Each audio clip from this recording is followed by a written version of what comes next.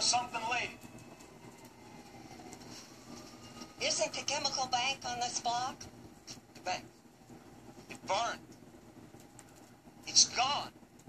Oh, dear. What you want to do is go down to 49th Street. That's the main customer service branch. Ask for Mr. Fleming. He'll help you.